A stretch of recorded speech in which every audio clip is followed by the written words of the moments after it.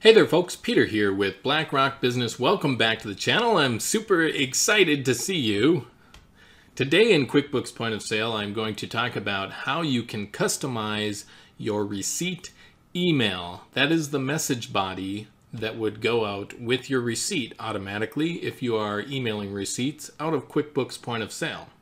Before we jump into that, I'm going to have you click on the link down in the description below to get over to our QuickBooks Point of Sale Facebook group.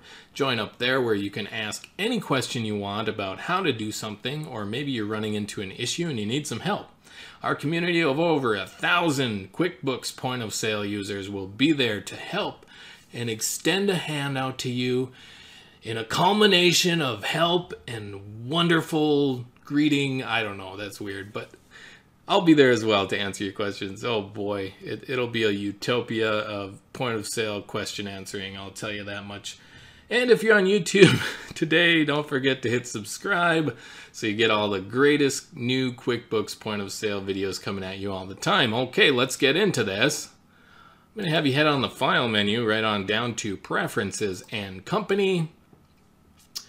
And in the company preferences, way down, almost at the bottom, you are going to click on Email Documents. And so here we can see the templating system for sending out your emails from QuickBooks Point of Sale. In namely, right now I'm going to do the receipt template. I'm gonna, you can switch this. I think they should give you like more options here for the salutation or greeting. They do not. I kind of wonder if you just put both as blank, if you could write in your own salutation. But right now I'm going to put it on Dear First Name. That's automatically going to fill in the customer's first name. And then we've got the subject line being receipt number from store. You, you might notice these little, uh, you know, brackets with the words in them.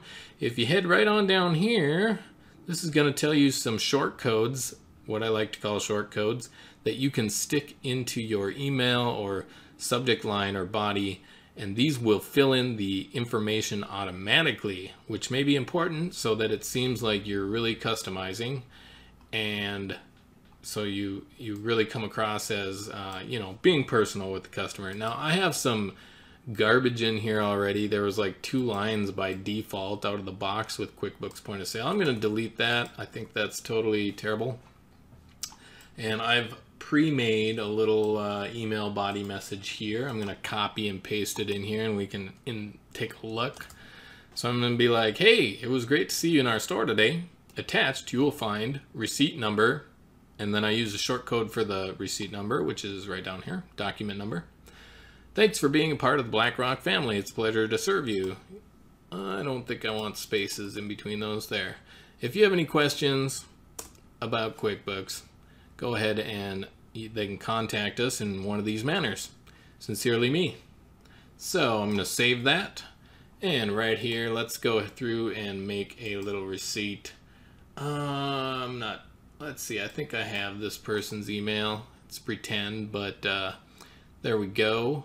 We got the person on there and they are going to buy something, a fuzzy nightgown. They're going to pay with their Visa card.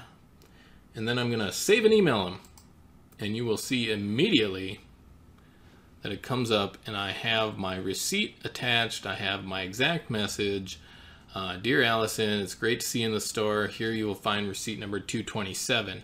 So exactly as I laid it out, we got the customized body here and this customer feels like I'm really paying some good attention to her. I know who she is. Uh, give her some, you know, you could even give links down here to something special or a free gift or something, you know, keep keep hooking those customers in and give them something else to do in your email or somewhere else to go uh, in your wonderful retail empire. There should be more that more value that you can express to them or give to them through this email message, and they'll remember that and they'll keep coming back. My name's Peter with BlackRock Business, and this was customizing your email receipt template in QuickBooks Point of Sale. Thank you very much. You have an excellent day. Bye bye.